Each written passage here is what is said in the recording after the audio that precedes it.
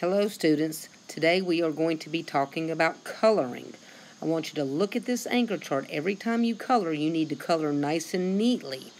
You need to make sure you color inside the lines, your coloring makes sense, and you don't leave any white spaces. This chart is hanging up in the room by the back door for you to look at whenever you need to. The first thing you want to do is put your name on your paper.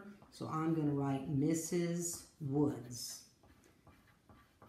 Now you are going to be coloring a soccer ball. Now your crayon box is here. You open up the latches, you take the lid off, and put your crayon box on top of your lid so you don't use your lose your lid.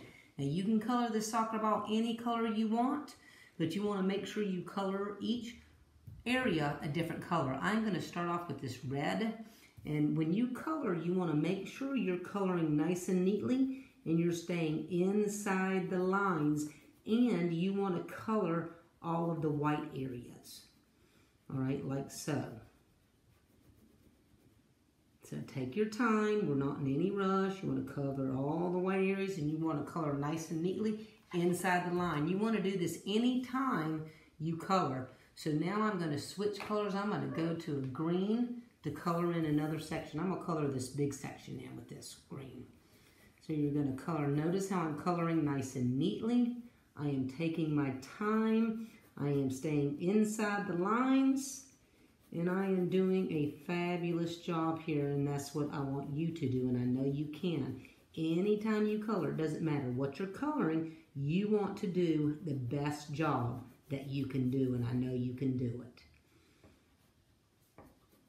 There you go. See how I colored in all the white? I colored it nice and neatly. And then I would continue coloring until I got my whole entire ball completed.